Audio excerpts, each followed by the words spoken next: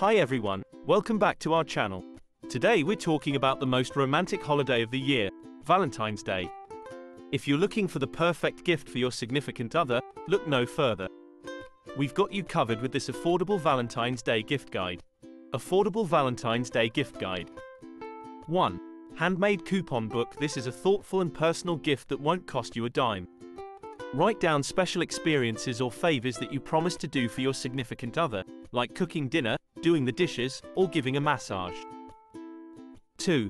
Heart-shaped throw pillow. This cute and cozy gift is perfect for snuggling up on the couch. Prices for this gift range from $10 to $20. 3.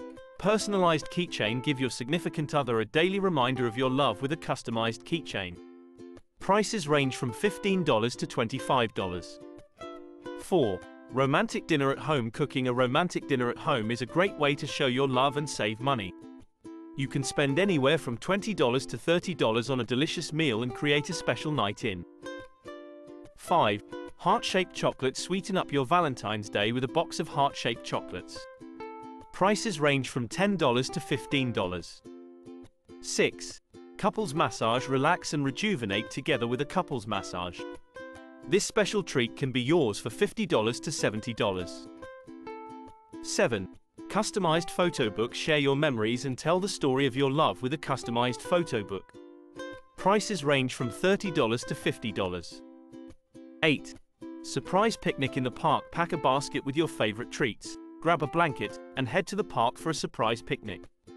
This sweet and simple gesture will only cost you $20 to $30. 9. Heart-shaped succulent give your significant other a gift that will keep growing, just like your love. A heart-shaped succulent can be yours for $15 to $20. 10.